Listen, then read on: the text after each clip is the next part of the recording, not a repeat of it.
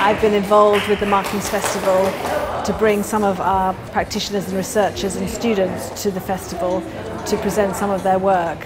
This is a unique collaboration across the university between London College of Fashion, Central St Martin's, London College of Communication and CCW, together with House of Illustration.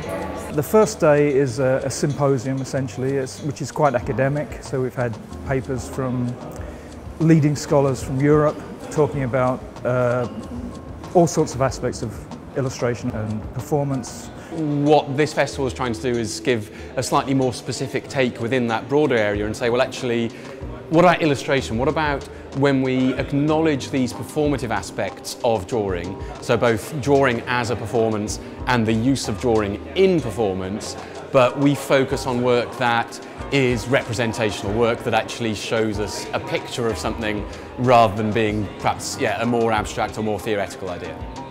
My name's Nilgin Yusuf. I curated the films for the MarKings Festival of Performance and Illustration.